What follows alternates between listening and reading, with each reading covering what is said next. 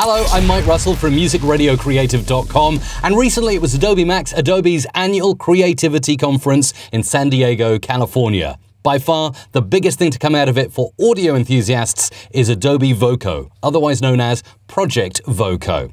What if I told you you could take a voiceover, narration, audiobook, even a famous celebrity, and cut and paste what they say just as easy as editing words in a word processor? Remember, Adobe introduced this technology with photo editing, uh, with Photoshop, of course. Photoshopping images, we're now trained to not really believe that every image we see is absolutely real.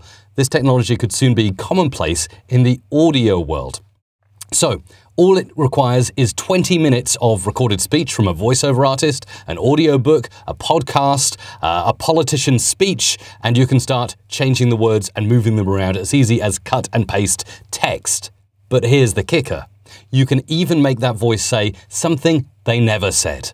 I know, scary technology, but also great for audio producers, audio editors, or anyone who wants to add or subtract or change a sentence around without having to drag the voice artist or celebrity back into the studio.